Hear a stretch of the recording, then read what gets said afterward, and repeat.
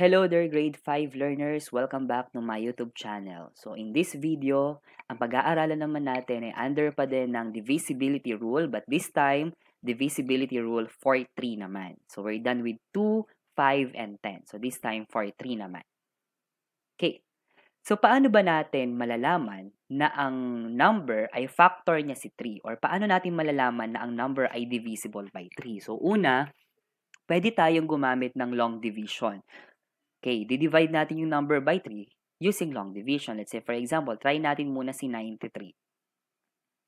93 divided by 3.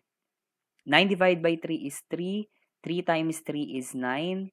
Minus natin 0. Bring down 3. 3 divided by 3 is 1. 1 times 3 is 3. And then minus 0. So, pag walang remainder, that means yung number na yon ay divisible by 3.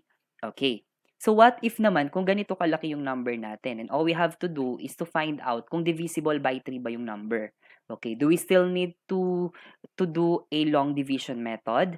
No. So doon na papasok si divisibility rule for 3 para just by observation or very short computation, makukuha natin kung ito ba ay divisible by 3 or not. So yung rule natin in divisibility divisibility by 3 is that sum of the digits is divi divisible by 3. Okay, ibig sabihin, i-add natin lahat ng digit kapag ang total niya ay divisible by 3, then yung number na yon ay divisible by 3. Let's have an example. 93. I-add natin ngayon si 9 plus 3. What is 9 plus 3? 12.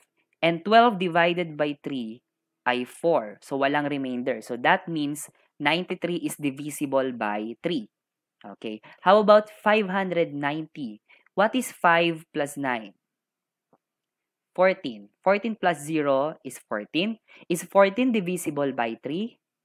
No. So that means 590 is not divisible by 3. Another example. 1 plus 9 is 10. 10 plus 5 is 15. Is 15 divisible by 3? Yes, kasi pag dinivide natin si 15 kay 3, walang remainder. So that mean one, that means 1950 is divisible by 3. How about 77,067? O, try natin ngayon. Mentally na lang. 7 plus 7 is 14. 14 plus 0 is 14. 14 plus 6 is 20. And 20 plus 7 is 27. Is 27 divisible by 3? Divide natin siya by 3. The answer is 9. Walang remainder. So that means this is divisible by 3. Okay, another example. 1 plus 7 is 8. Plus 0 is 8. Plus 9 is 17. Plus 4 is 21. Plus 9 is 30. Plus 6 is 36. Is 36 divisible by 3? Yes. Because 36 divided by 3 is 12. Walang remainder. So that means this number is divisible by 3. Okay, another example. 2 plus 5. 2 plus 5 is 7. Ito na tayo. 2 plus 5 is 7.